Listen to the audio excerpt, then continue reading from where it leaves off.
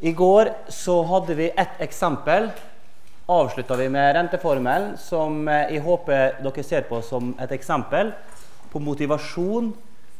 Hvorfor vi gjør alle de tekniske, kjedelige tingene som vi gjør nå. Eh, da holder vi på med renteformelen, som er den blå formelen der oppe. Og hvis vi har en del informasjon og ønsker å finne renta da, i dette tilfellet, så løser vi ut med hensyn på renta R og finner hva renta var når vi har den informasjonen vi hadde. For å greie det så så vi at vi brukte en del potensregler som vi lærte om i går. Med andre ord de kjedelige tekniske tingene som en del av det forkurset her eh, eh, omhandler, men som blir på en måte mye bedre da, når vi kommer til hovedkurset om ei og en halv uke. Det er faktisk viktig for å kunne løse litt større, kompliserte problem. Ikke bare innen økonomi, men også logistikk. Slik at eh, når vi liksom er ferdig med denne uka her og begynner til høsten med, eh, med hovedkurset, og etter hvert som øvingene da blir lagt ut, så kommer jeg til å lage oppgaver som nesten bare omhandler økonomi, revisjon, logistikk, fra bedriftsøkonomi, fra mikroøkonomi, makroøkonomi, supply chain management og alle de fagene dere skal ha. Eh, så jeg vil bare nevne det nå, eh, slik at dere vet liksom, hovedmålet og det vi liksom eh, kommer til å, å, forvente oss utover høsten. Så jeg vil bare ikke gå gjennom detalj, men bare repetere litt av det vi gjorde i går. Så hvis vi alle slår opp på side 25 i kompendiet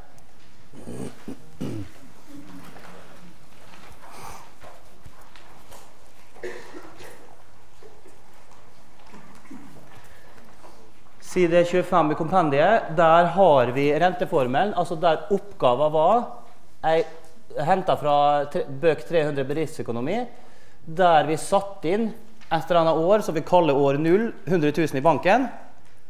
Og så oppdaga vi etter fire år at det har økt forrenta seg til 125 000.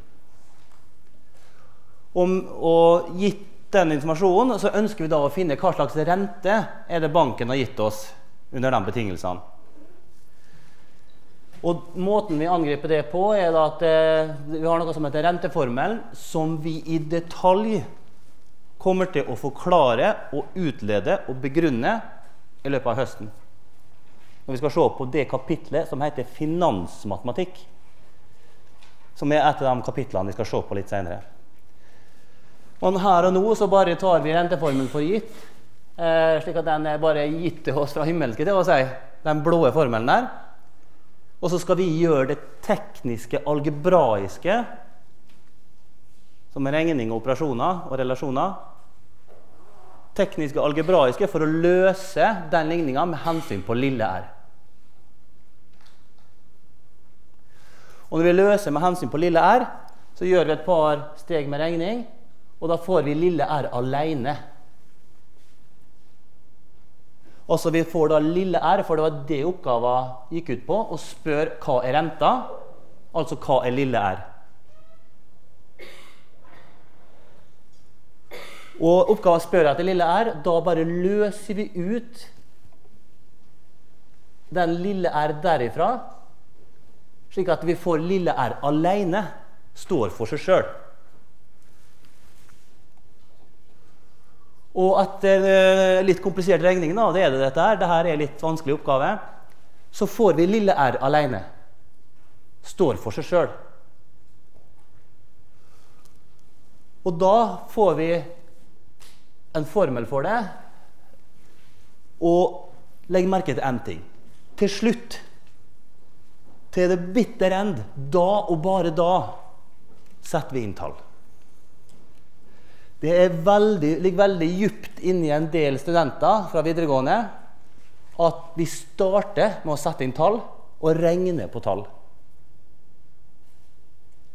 Når vi kommer på høyskolenivå, så prøver vi å legge det fra oss og regne bare på bokstaver så langt det gjør seg gjøre, lar seg gjøre. Og det absolutt siste vi gjør, er å sette inn tall. Litt tullete sagt, hvis du starter med å sette inn tall, så er du ille ute å kjøre. altså. Det er som regel det vi ikke ønsker. Så hvis du har for lyst til å sette inn tall med en gang, da skal du bare sette på bremsa og tenke deg om en gang til. Og tenke gjør jeg noe galt nå? For legg merke til en ting. Alle disse stegene her de inneholder ikke et eneste tall, ja, bortsett fra fire, da, som er antall år. Det er K0, det er K-Nils, og det er Nils sjøl. Slik at vi får en formel som er K4 K0 opphøyd i en fjerdedel.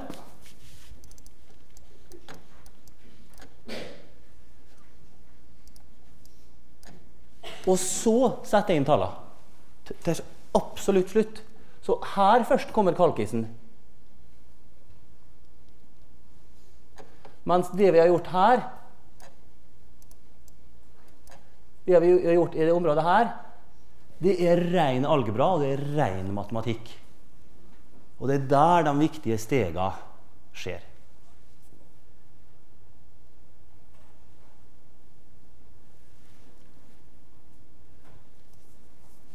Ok, og Det vi skal bruke kalkis til, det er f.eks. å regne ut sånne ting som det her. Det her er typisk, det absolutt siste steget det er kalkisarbeid. Eh, og da eh, må vi lære oss eh, å bruke kalkisen slik at vi greier å få et eller annet tall oppøyd i en eksponent. Og Det er egne knapper på det på kalkisen, og det kan vi trene oss på i øvingstimene. Eh, for dem av dere som eh, ikke har brukt det så mye i kalkulatorsammenheng før. Men det er sånne småting som jeg håper og tror at vi skal lære oss i løpet av høsten. slik at eh, elementær bruk av kalkulator det også inngår som en del av kurset. Med elementær bruk av kalki så mener jeg bl.a. å kunne regne ut sånne summer som dette her, eller sånne uttrykk som dette, og få at dette her blir 0,057. Med andre ord, det er den banken her den gir oss en rente på 5,7 det er det banken har gitt de siste fire åra. Og det er ei bra rente, konkluderte vi med i går. Ok. Spørsmål knytta til det her?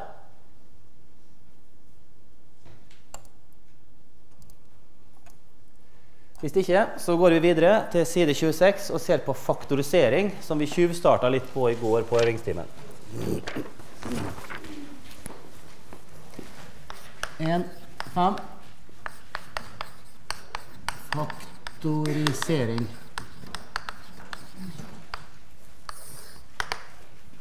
Side 26. Skal bare se og definere, selv om det blir litt teknisk, hva faktorisering er. Det er dekomponering av objekt, f.eks. tall og uttrykk, i andre objekter eller faktorer. Altså vi dekomponerer oss omskriving, faktisk. Så hvis dere skal skrive ett ord, ett eget ord, så skriv her faktorisering, omskriving. Omskriving. Og så satte dere ei pil på faktorisering. Det er ikke helt presis, men vi får iallfall umiddelbare assosiasjoner. Hvis vi ved egne ord blir tvunget til å bruke bare ett ord for å beskrive faktorisering, så har de lyst til å bruke ordet omskriving. Vi skriver det om ved hjelp av produkter. Ett ledd ganger et annet. Og det aller beste teori i en sammenheng her, slik at ikke ting blir altfor teoretisk, det er bare å se på et eksempel. 54 det er to ganger 1, 2, tre, fire. Og det her er faktorisering av 54. Faktorisering av 54. Faktorisering, vi skriver det på produktform.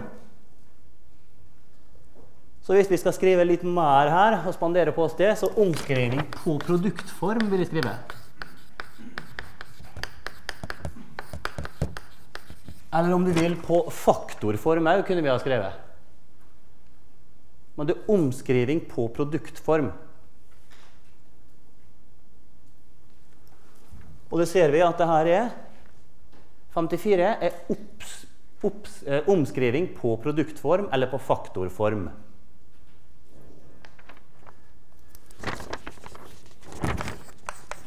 Men det trenger ikke å dreie seg om tall, det kan dreie seg om uttrykk. 6x i andre y, det er 6 ganger x ganger x ganger y. Da har vi faktorisert det. Skrevet på produktform. Det kunne vi også ha gjort. Det har, du har fått enda mer faktorisering. Det har du rett i. Det er en bra kommentar.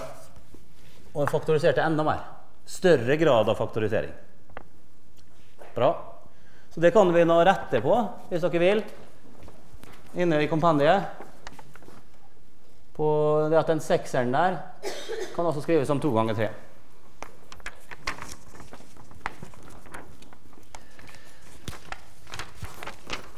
Sånn. Skal vi ta et eksempel til. A gange B pluss A gange C minus Arne gange David. Det uttrykket der skal vi faktorisere, altså vi skriver ved hjelp av gangetegn produkt av ledd. Er det noe som slår dere umiddelbart når dere ser på det uttrykket der? Bare en generell teknikk. Før vi liksom gyver løs og begynner å regne, så er det bra å stirre uttrykket i senk og bruke litt stirremetoden og bruke et par sekunder på å se hva skal vi gjøre, uh, gjøre med det uttrykket her. Er det noe jeg burde se sånn umiddelbart? Så bruk ti sekunder på å liksom prøve å stirre uttrykket i senk og se om du ser noe umiddelbare steg eller relasjoner. Og gjør dere det her i denne sammenheng her, er det noe som umiddelbart slår dere.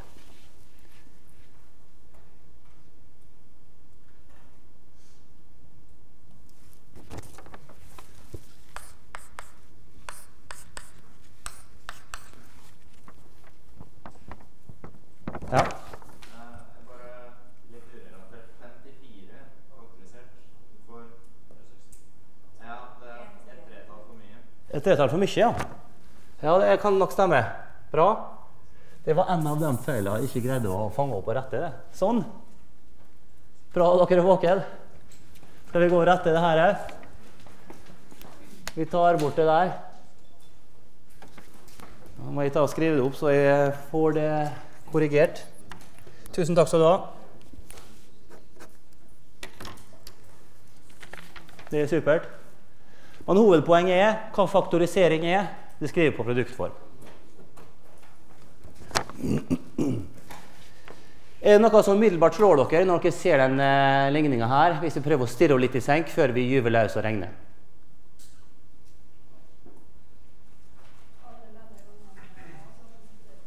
Kanonbra. Eh, jeg tror ikke alle hørte det, så jeg gjentar det. Alle ledda er ganga med A. Med andre ord ledda har en felles faktor. Arne er en felles faktor. I alle ledda er det uttrykket her. Og da kan vi ta og bare og sette dem utafor, da. Sånn. Slik at vi tar og setter A utafor gange et eller annet.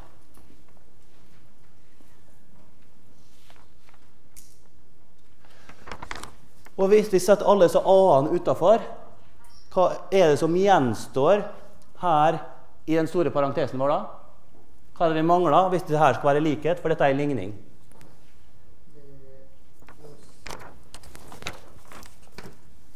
Først så mangler vi den. B. Hva mangler vi her? Pluss C. Og hva mangler vi her? Minus David.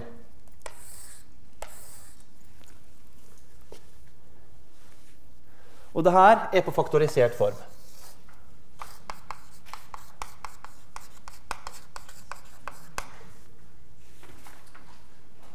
Ja, men hvordan stemmer det? da? Det er så mange plusser inne i bildet.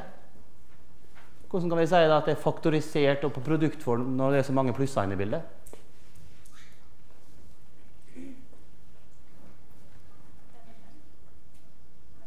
En gang til. Det er flere ledd, ja. Ble det sagt her, det stemmer. Det er flere ledd. Ja. Om du ikke vet hva B, C og D er for noe, så får du ikke brukt det lenger ned. Det er også sant at vi ikke vet hva B, C og D er, men vi vet heller ikke hva A er. Og A er jo produktet av noe annet. Så det samme kan vi si om A.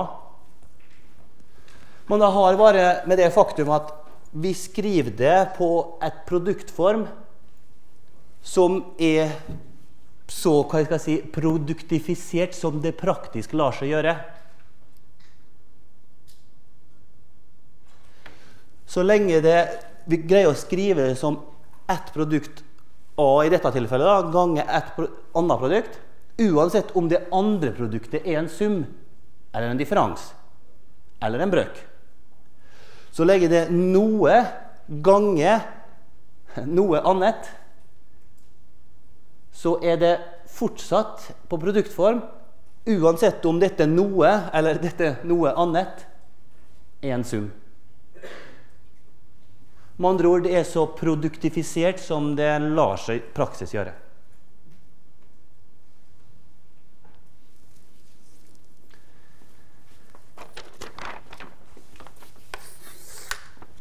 La oss ha det siste eksempelet på side 26, som er 2a i andre ganger b minus 4ab. Så vil jeg at dere skal bruke 10 sekunder på å stirre metoden og se om dere finner på og ser noe der som eh, kan være hensiktsmessig i denne sammenheng i forbindelse med faktorisering.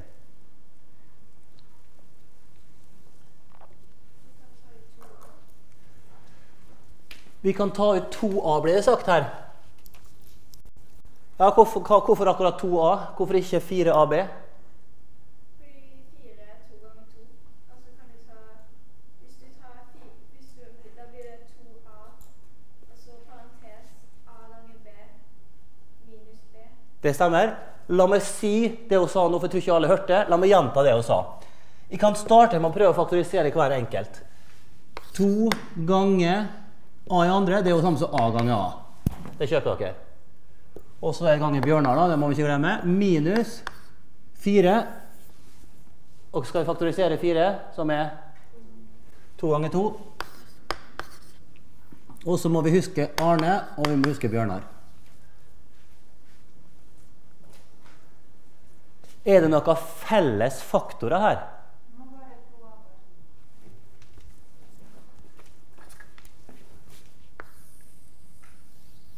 Hvis vi tar den der, 2AB, og den der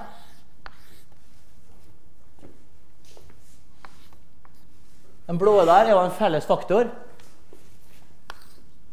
Felles faktor. Ja, men da kan vi ta og sette den felles faktoren utafor, da. I samme stil som denne. Vi tar den blå felles faktoren og bare setter den utafor. 2AB ganger parentes. Og da må vi ha der det vi mangler.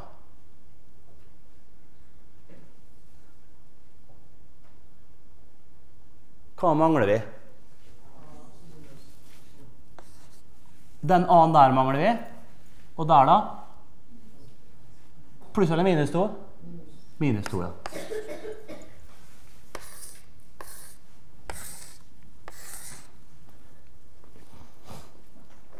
Nå har vi faktorisert det. Kanonbra.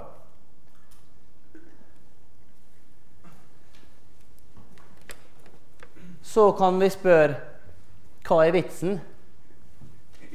La meg si iallfall én ting umiddelbart. da. Hvis vi nå skal finne nullpunkter La oss si at dette er en funksjon i Arne og Bjørnar. Og så ser vi på den funksjonen der. Bortsett fra den trivielle løsninga at Arne lik Bjørnar lik null, at begge to lik null, da blir denne her null. ikke sant? Hvis et A og B lik null, så blir dette lik null. Så la oss se bort fra de trivielle nullpunktene til denne funksjonen her. Greier du å se sånn umiddelbart om det andre ikke-trivielle nullpunkter? Det betyr for hvilken verdi av A eller B Vil dette uttrykket her bli lik null? Greier dere å se det på stirremetoden herifra?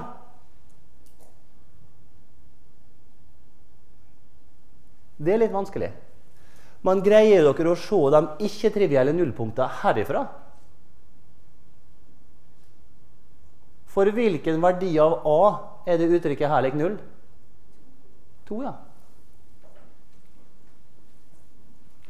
Vi brukte bare stirrmetoden med på å finne hva nullpunktene til funksjonen der var, i det øyeblikket vi hadde funksjonen faktorisert.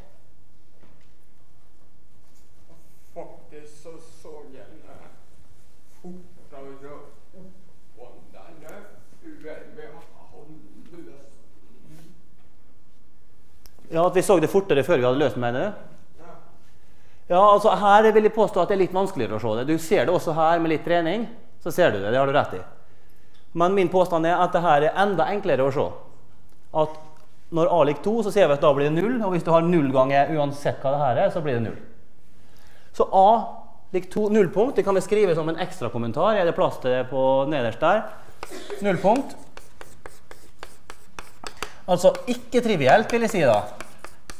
Ikke trivielt. Nullpunkt, det er A lik 2. Og det ser vi derifra. At bare sett A lik 2, så ser vi at det er lik 0.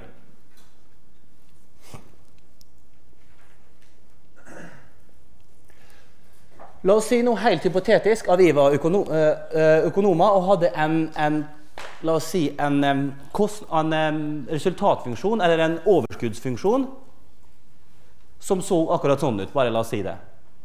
Da, og vi skulle spørre spørsmålet for hvilke f.eks. det kunne vært kvantum, da, hvis A og B har noe med kvantum å gjøre. For hvilket kvantum går bedrifta i null?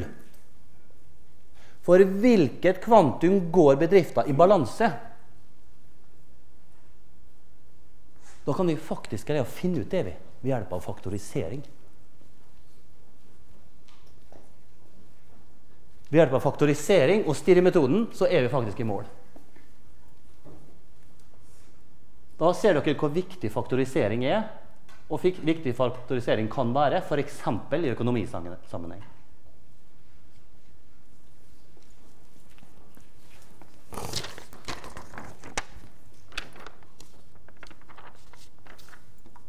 Ok, skal vi ta et eksempel til? Skal vi se, i Litt uøkonomisk med tavla her, så vi tar og visker vekk. Er det greit?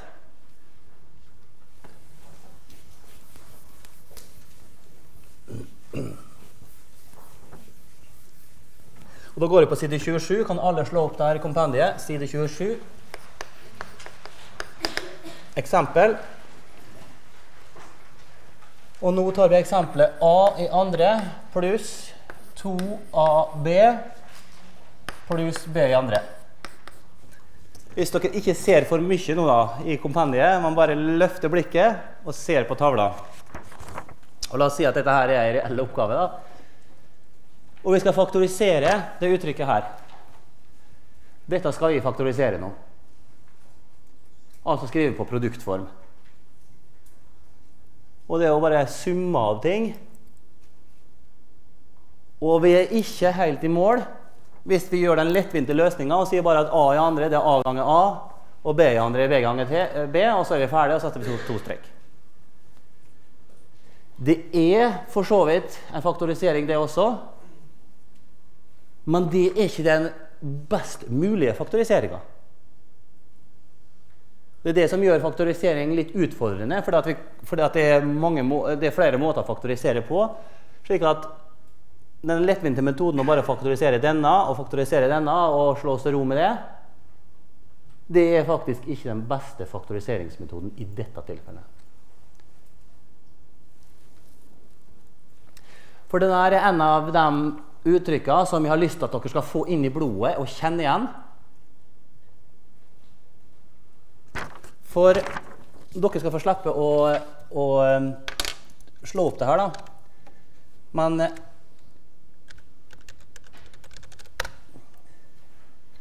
jeg kan slå opp for dere på side 17. Så hvis vi gjør bare sånn Det der er kvadratsetningene som vi lærte om i går. Og disse der har jeg lyst til at dere skal ha i hodet. Men som sagt, det er egentlig ikke pugging, for at vi kan forstå dem. Vi kan forstå hvorfor det er pluss foran kryssleddet på den ene. Og vi kan forstå hvorfor det er minus foran kryssleddet på den andre. Og vi forstår hvorfor det er, ikke er noen kryssledd mellom konjugatsetninger. Og en skal huske i hodet hvorfor det ikke er noe kryssledd i konjugatsetninga.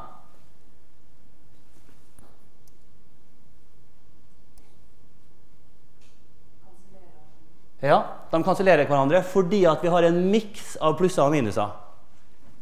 For den ene her har pluss, og den andre har minus. Og når det er en miks av fortegn, da vil den ene AB-en være pluss og den andre AB-en være minus, som akkurat kansellerer hverandre. Mens her, når begge er minus, da blir begge kryssleder minus. Og når begge er pluss, så blir det begge kryssleder pluss her.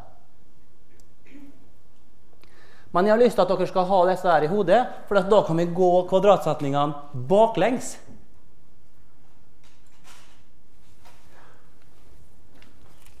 Og da blir det her bam-bam gange bam-bam. Og her står det pluss. Hva skal stå inni der, da? Ja, det er riktig. Da skal det stå pluss der og pluss der. Og hva mer skal stå inni her, da? A og B og A og B. Kan vi skrive det en- enda enklere?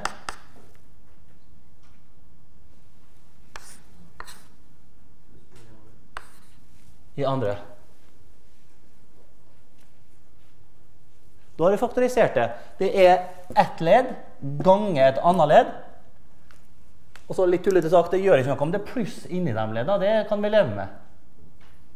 Men så lenge det er noe ganger et eller annet noe, så gjør det ingenting at dette noe har både pluss og minus å dele inni seg.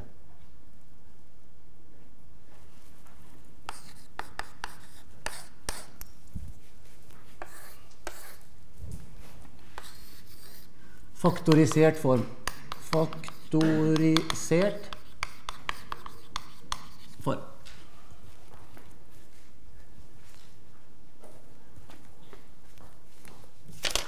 Ja.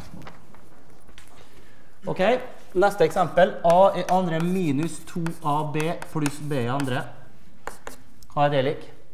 Ja. Og lurer på en ting, Kunne du tatt andre eksempler som bare står der? Altså du bare lager det samme eksempelet liksom bare med andre tall og sånn? Så det hadde vært enklere hvis vi hadde sammenlignet de to. Da hadde vi forstått det antallet vi skal gjøre. Ja, jeg skal prøve å gjøre det litt sånn etter hvert. Jeg skal prøve å gjøre det. Men en del eksempler er så viktige at jeg har lyst til å ta dem, slik at du har det i kommentere litt av bakgrunnen for dem.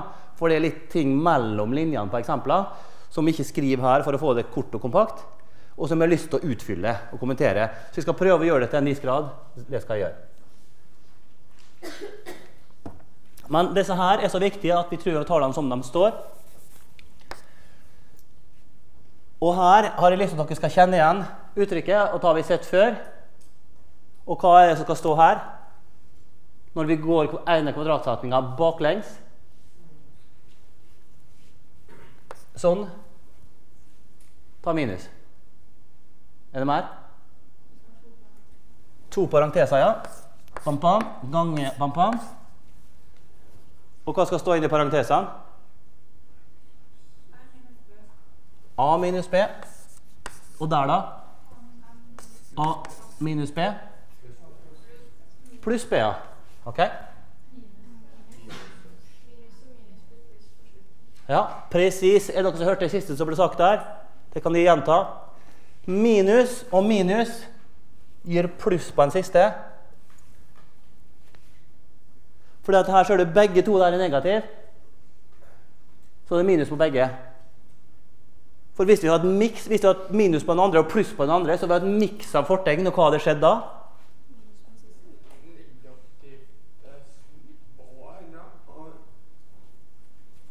Ja, altså hvis vi uh, her, her nå Hvis vi hadde hatt negativt på den ene og positivt på den andre, hva hadde skjedd da? At vi hadde en miks av fortegn? Da har vi fått kansellering ja, av kryssleddet. Men her har vi jo et kryssledd, og begge, begge AB-ene er negative. Vi har to negative AB, og hva da? Jo, da må begge sammen være negative. Det er liksom huskeregelen vår.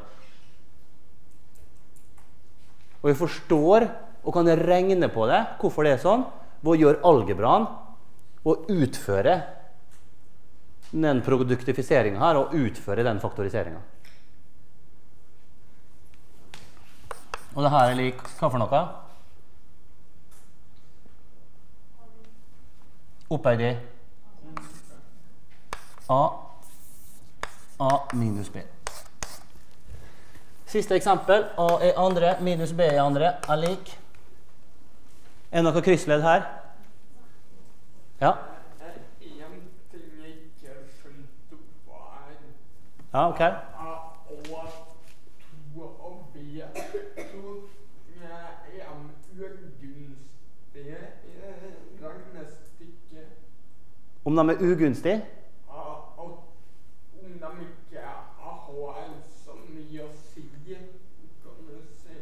Jo, de har mye å si. Eh, eh, nærværet av kryssledet er helt avgjørende for om vi har den ene eller andre kvadratsetninga.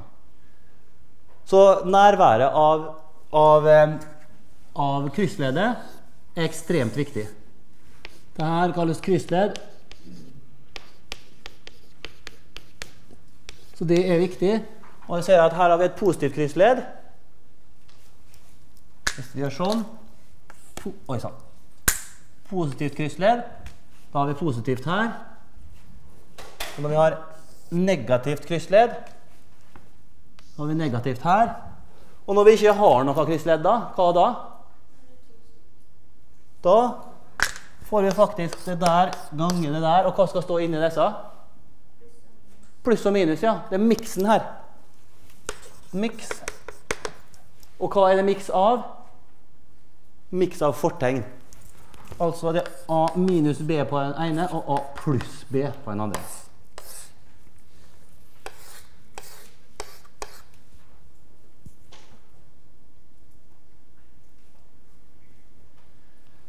Så det her er faktorisert form.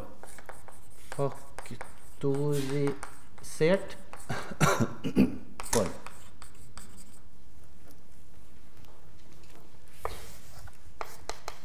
Faktorisert form.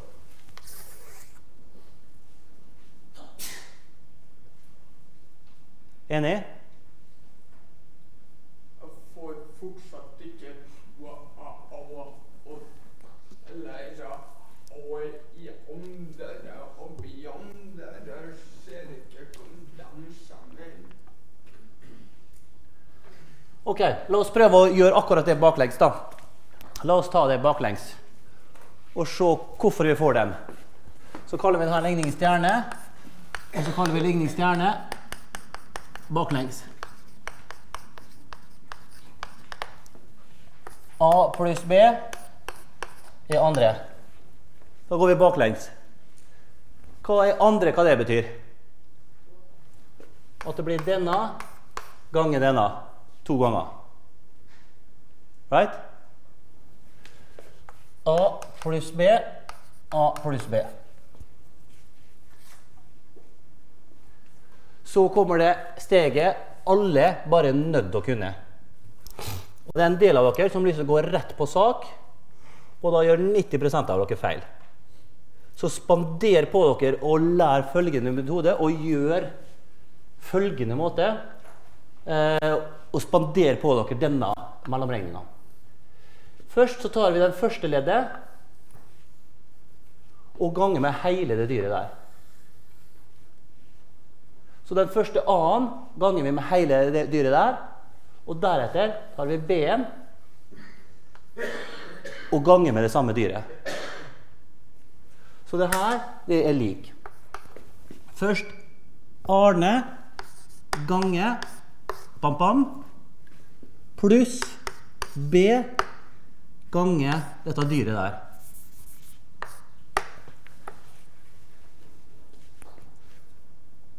Så dere hva jeg gjorde? Det er ekstremt viktig, og dere kommer til å bruke det hele kurset utover hele høsten til dere blir skikkelig lei. Men det her må vi forstå. Som sagt, Arne ganger hele dyret. Arne ganger hele dyret pluss Bjørnar ganger hele samme dyret. Og hva skal stå inni her? A pluss B. Bra. Hva skjer nå?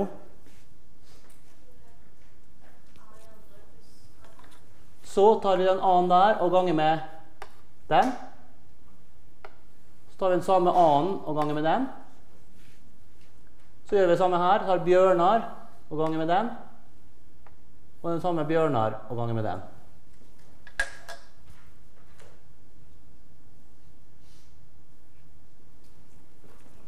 Så gjør vi da. A ganger A gir Arne ganger Bjørnar lik. Bjørnar ganger Arne lik. Bjørnar ganger Bjørnar lik.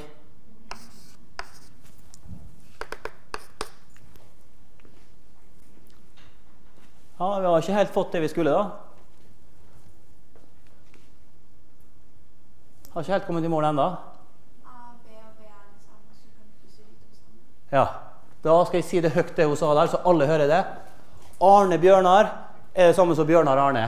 Fordi at sju ganger tre er det samme som tre ganger sju. Enig?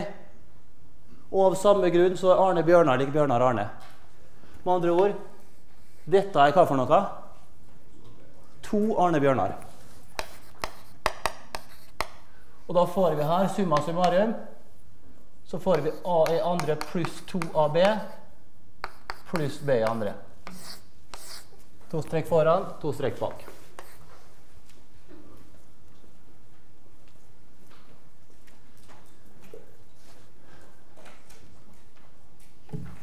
Jeg har prøvd å sitte og regne på det her i går, og kon- konkluderte jo med at eh, det var sånn som vi gjorde nå, egentlig bare baklengs.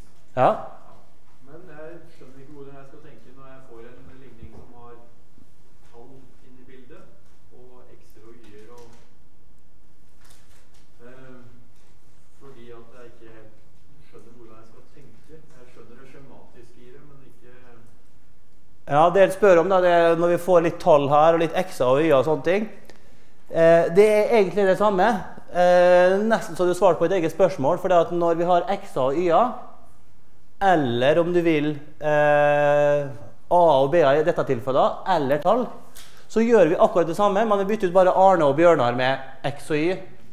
17 og 32. Jo, altså, eh, vi.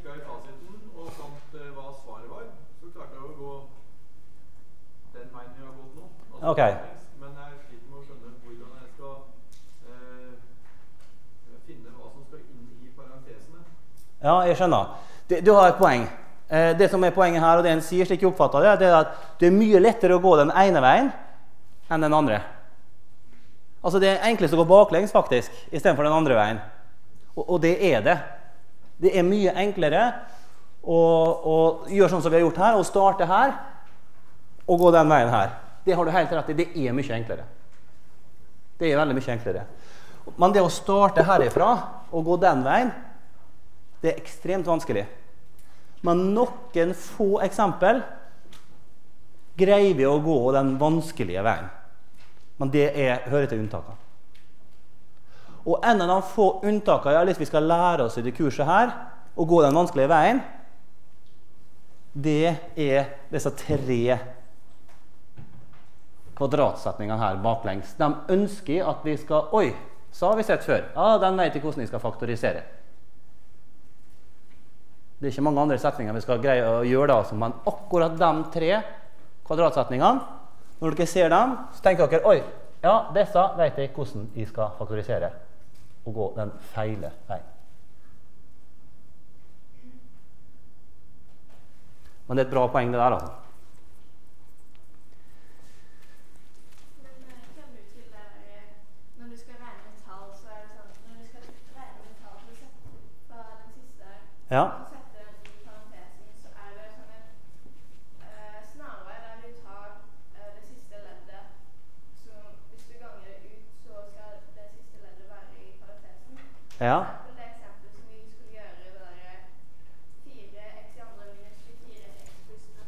Skal vi se hva det var. En gang det du sa. 4x i andre minus 4x pluss 36.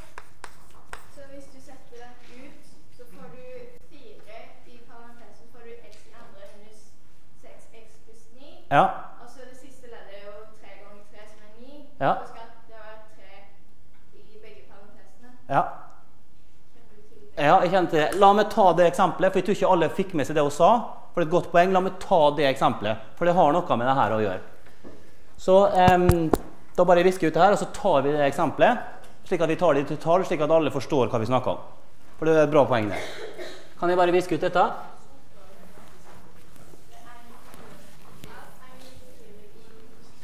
Skal vi se. Ok, så Hvis dere vil skrive ned det her, så skriv det ned eksempel på den sida vi er på. da. Har dere plass på side 26? Eller ja, her nederst på side 27, der har vi plass. Hvis vi slår opp helt nederst på side 27, så tror jeg vi har litt plass helt nederst der. Og da tar vi følgende eksempel.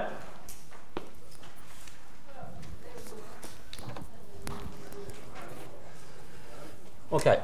Og, så, og eksempelet her er 4x i andre minus 24 ganger x pluss 36. La oss ta det.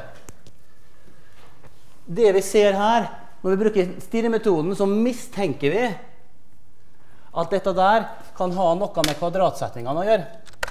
For hvis vi bare tar opp dem og ser på dem, kvadratsetningene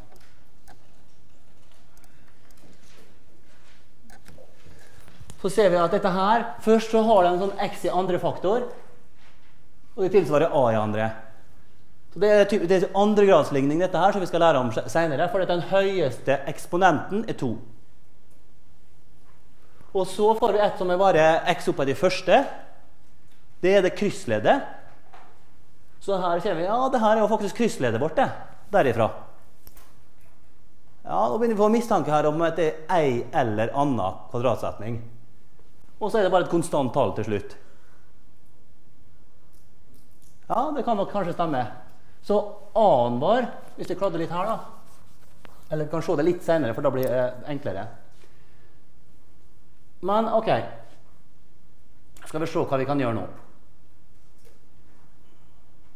Det er flere måter å gjøre det her på, men la oss se. Hvis vi sier at vi har en 4 der, og går 24 opp i 4 Det er 6, ja. Går 36 opp i 4? Ja, det er, eh, går 36 opp i 4? Ja. Så la oss prøve da, å bare skrive om igjen det her. Og skrive det her på 4 ganger x i andre. Den gjør vi ikke noe med. Men den der faktoriserer vi. Vi faktoriserer 24. Ja, det kunne ha gjort det. Det kunne ha gjort det, Men vi ser, her er det enkelt å se at 4 går opp i 24 og 36. Men det er helt rett, det. vi kunne gjort det på den måten òg. Men den måten skal jeg vise etterpå. Så vi beholder den inntil videre fordi at vi ser at 24 går opp i 4. Med andre ord, det er 4 ganger 6. Altså at 24 her og den der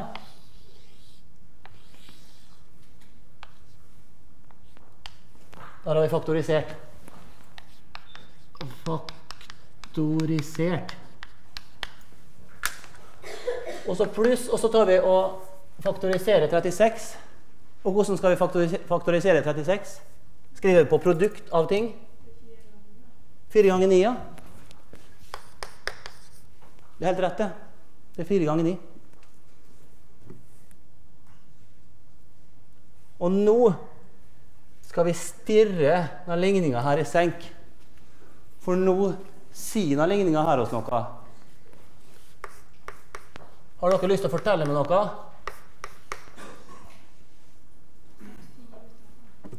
Er det noen som har lyst til å fortelle meg noe?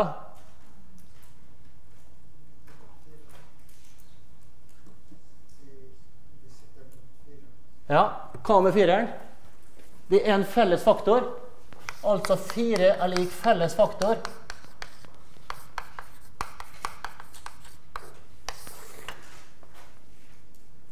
Ja, men da gjør vi sånn, da. Fire ganger og så en stor parentes. Vi setter altså den fireren utafor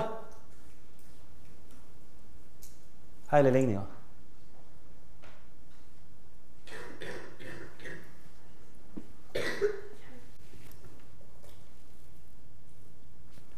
Og hvis vi setter fireren utafor, altså vi tar den og kaster den utafor, hva er det som gjenstår her da? Hva er det vi mangler for å inni her nå, da? Først er det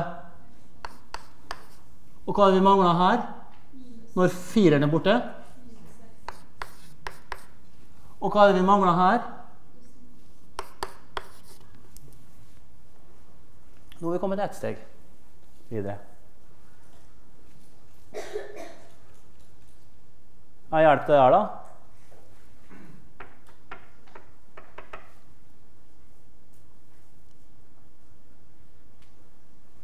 Ja, la oss faktorisere litt til, og se om vi greier det. Bare gjør en enkel faktorisering. Hva, hva er 9? 3 ganger 3. Med andre ord, det er 3 opphøyd.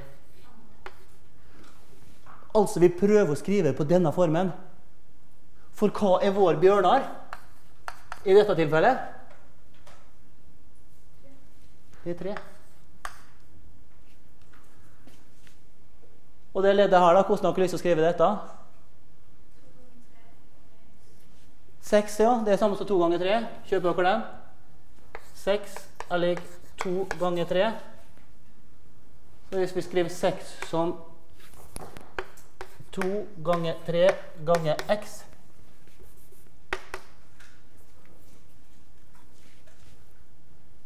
Så har vi ikke gjort noe annet enn dette.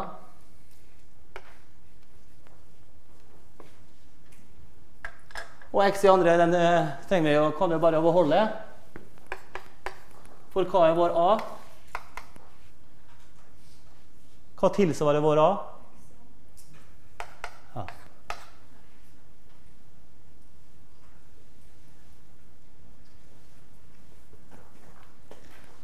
Og nå kommer hovedpoenget. Nå vil jeg at vi skal innse at vi kan bruke ene kvadratsetninga baklengs.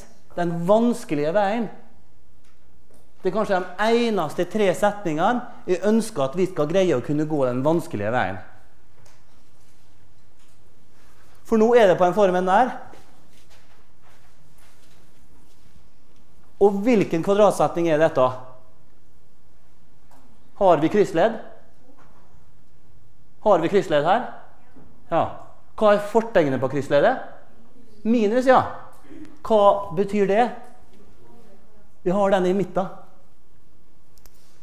Så det betyr at vi kan skrive den som A minus Bjørnar opphøyd i Men hva er vår Arne?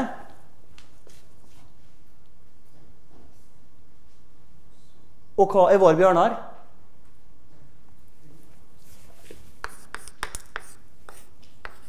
Hva skal stå inni her?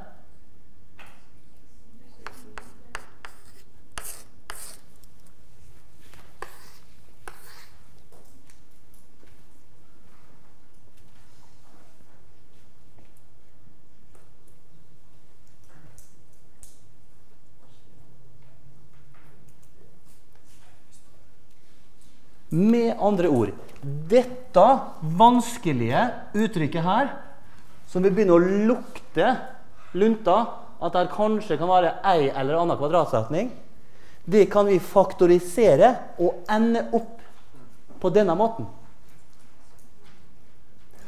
Og da vil jeg spørre spørsmålet som vi gjorde i stad. La oss si at dette f.eks. er profittfunksjon, altså resultatfunksjon for ei, eh, for ei, for ei bedrift. Så kan jeg spørre og La oss ekstra, la oss si at det er antall produkt som du produserer hvis det er en vanlig tradisjonell bedrift. Hvor mange produkt må denne bedriften produsere for å akkurat gå i balanse?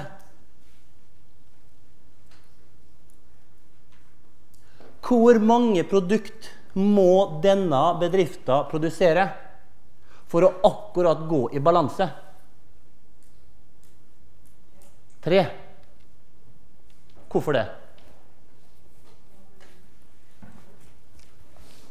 La oss si nå, bare helt hypotetisk, at at vi har en profittfunksjon. Hva det heter det på eh, i økonomispråket? Har dere hørt om pi av x? Jeg har ikke lært om det. La oss kalle det for resultatet. Altså overskudd, da. Eller total, totalt res resultat kalles det ofte. La oss si at Glamox produserer eh, lysrør som selger til offshoreindustrien. Og totalt resultat, som de, så mye penger de tjener, som funksjon av antall eh, lysrør de produserer, den for, kan f.eks. være gitt ved det her. Sånn som vi sa. 4x i andre, la oss bare si det. 4x, at vi har funnet ut det, pluss 36. Og det har vi funnet ut kan skrives som x minus 3 i andre. Så den kvantumet, det antall lysrør som Glamox må produsere for at totalt resultat akkurat skal gå i null, altså at de akkurat skal gå i balanse, det er 3.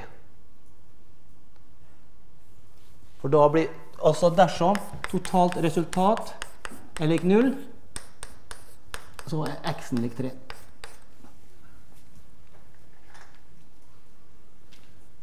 Så dersom Glamox produserer tre lysrør, da går de akkurat i null. Hvis de produserer bare ett lysrør, så går de i underskudd. For da har de kanskje oppstartskostnader og alt mulig rart. Det koster jo bare å sette i gang en produksjonsserie på Glamox. Glamox altså, er et firma som lager varmeovner, lysrør, lysarmaturer. Ja? Kunne du forklart det siste leddet litt mer nøye? Hvordan følger x minus 3 i andre? Ja, det kan jeg gjøre. Spørsmålet var hvordan jeg får til den overgangen derifra til dit. Et veldig godt spørsmål, for det er den kritiske overgangen. Godt spørsmål. Den overgangen derifra til dit er spørsmålet.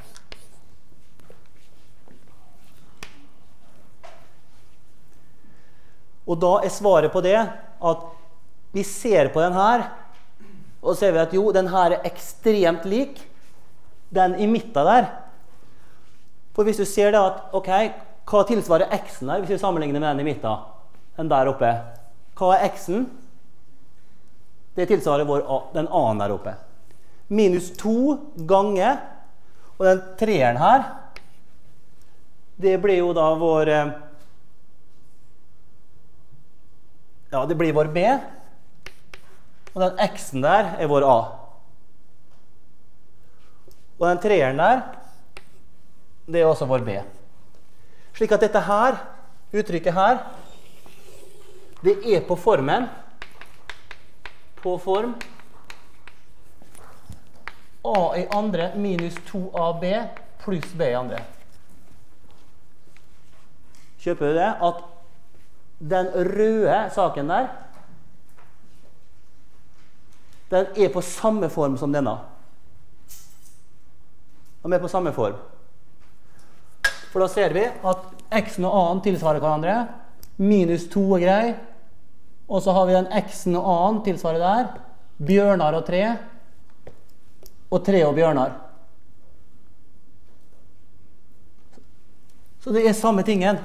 Og da vet vi fra den setninga der at når vi kan skrive på den formen, da vet vi også at det kan skrives på a minus b i andre. Da går vi baklengs. Så det er litt gjenkjenning her. At vi kjenner igjen uttrykkene våre. Og de tre uttrykkene der har jeg lyst til at dere skal blunke en ekstra gang når dere ser. Da tar vi oss ei velfortjent pause, tror jeg.